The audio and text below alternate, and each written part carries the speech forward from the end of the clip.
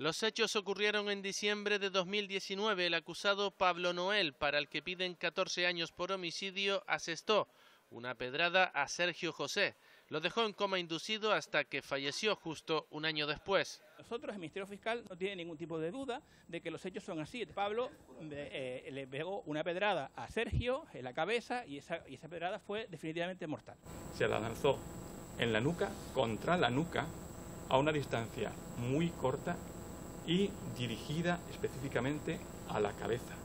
Acusado y víctima residían en el hotel abandonado Jandía Golf. Según el relato del acusado, eran continuos los ataques del fallecido Sergio y otros ocupas. Incluso asegura que el día de los hechos fue atacado con un bate de béisbol. Cuando caí al suelo, yo quiero dejar claro que cogí piedra y le pegué de ahí a ahí a Sergio. Nunca jamás mi intención fue darle en la cabeza ni nada.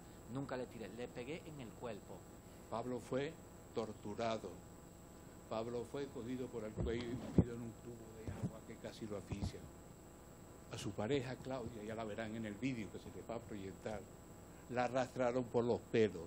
Por eso la defensa ya ha anunciado en la primera jornada del juicio que pedirá homicidio imprudente con la eximente de legítima defensa.